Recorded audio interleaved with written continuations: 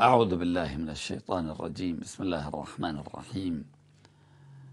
الحمد لله رب العالمين والصلاة والسلام على خير خلقه أجمعين محمد وعلى أهل بيته الطيبين الطاهرين. لعبد الله الرضيع قصة وإن كانت قصيرة لكن فيها عبر بمقدار الدنيا وما فيها. من جملة تلك العبر الذي فعله الإمام الحسين بجثة عبد الله الرضيع.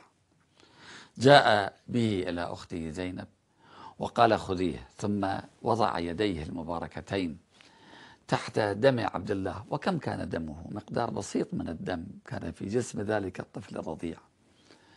قطرت قطرات من دمه في يد الحسين ثم رمى بالدم إلى السماء. ثم قال اللهم إن كنت قد حبست عنا النصر فاجعل ذلك لما هو خير لنا في الآجل في يوم القيامة. ثم دعا على أولئك القوم. دعا عليهم وبدعائه دمرهم ورماهم في مزبلة التاريخ. بني أمية اليوم موجودون في بعض الأماكن لكنهم يستحون يخجلون لا يستطيعون أن يرفعوا رأسهم ويقولوا نحن بنو أمية. مع أن بني أمية حكموا ألف شهر ثمانين عام حكموا كل مصائر الناس وموارد الدولة كانت بأيديهم. ثم جاء وحفر لعبد الله الرضيع في ظهر الخيمة حفر حفرة صلى عليه ودفنه بثيابه في تلك الحفرة. هذا لم يفعله بأي واحد من الشهداء لا بالعباس ولا بعلي الأكبر ولا بالقاسم ولا ببرير ولا بحبيب.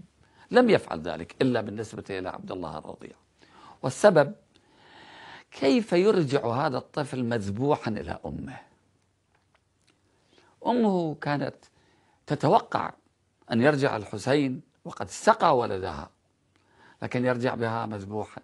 ما أراد أن يؤذيها وهي أم والأمهات تعرف ذلك.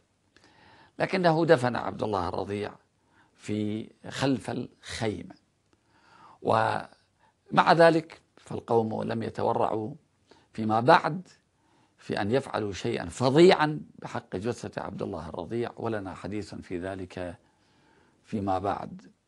وآخر دعوانا أن الحمد لله رب العالمين وصلى اللهم على محمد وأهل بيته الطيبين الطاهرين.